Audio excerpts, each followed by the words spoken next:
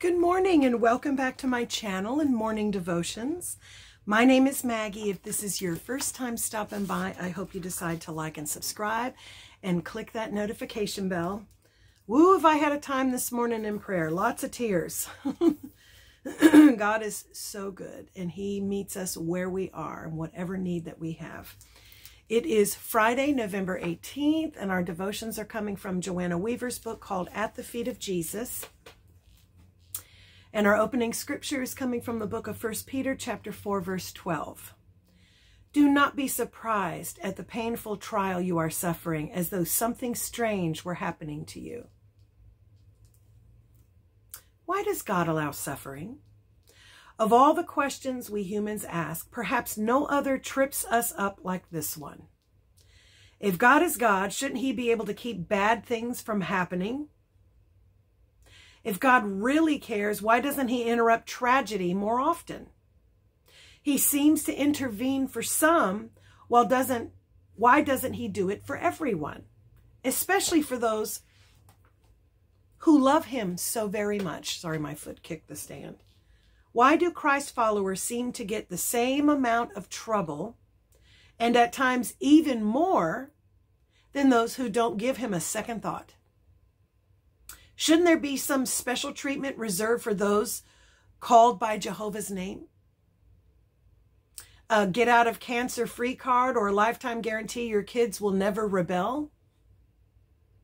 But God doesn't work that way. And isn't that confusing and frustrating at times? It is. Instead of being predictable, he chooses to be mysterious yet unchanging, close yet distant a God who chooses to redeem our pain rather than providing handy escape routes. My friend is struggling with God right now in a big way. The actions of someone else have shattered her life, but the biggest casualty has been her faith. She can't make the God piece fit. Why didn't God stop the senseless act? I just need to know I matter, my friend says. I need to know that God sees my pain and that he actually cares. Isn't that what we all need at the end of the day? Perhaps that's why the shortest verse in the Bible may be the most power packed phrase in all of the New Testament. Do you need to know that you matter? this has been my whole morning. Do you need to know that he sees your pain? Never forget that Jesus wept. John 11, 35. Okay, our reflection scripture is Second Corinthians chapter 1, verses 3 through 4. And we're reflecting, describe a time when you were able to comfort someone with the comfort you've been given by God. So let's look at Second Corinthians chapter 1. I tell you, it has been a morning for me already. God is good. He's faithful. Okay.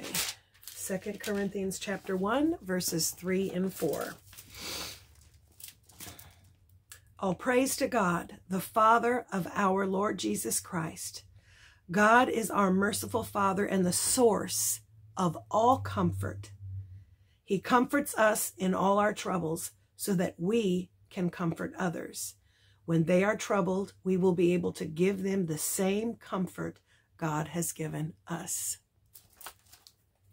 You ever wonder how God can turn any circumstance into good? He works all things together for our good. That's scripture. He works all things together for our good. In any horrific, horrible situation, how on earth can God ever turn that and work it for our good? Well, as he gets you through it with his grace, you are then able to empathize on a level no one else can with someone who then goes through the same thing, no matter what it is. And you will be bringing comfort and courage and strength to someone who's facing something they never thought they'd ever face. And you are able to say, God got me through it. Only through God could I have gotten through it. and they will find faith and be able to turn to the only one who can give them the answer and the strength to get through whatever terrible things happen in life. God gives us free will choice, and unfortunately, some people with that free will choice choose evil things. And that's unfortunate because that usually means someone's been hurt or victimized because of their evil choice. He's a just God and He will get us through those things. He will. He loves us.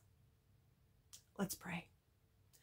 Father, in the name of Jesus, I thank you today for this word. And you know the labors I had this morning in my prayer, the travailing, the struggles.